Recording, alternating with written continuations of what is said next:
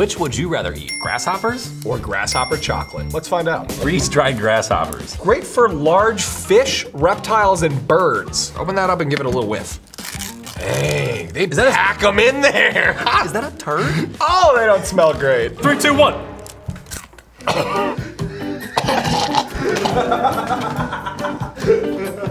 Ah, what in tarnation? Where's my Mountain Dew? Oh, okay. The flavor, not great, but not bad. It just kind of tastes like dirt. But the texture, Yeah, bro. The texture was crazy. Let's try this candy. Oh, thank God you see that right there in the fine print. Yeah. No grasshopper pieces. Anything.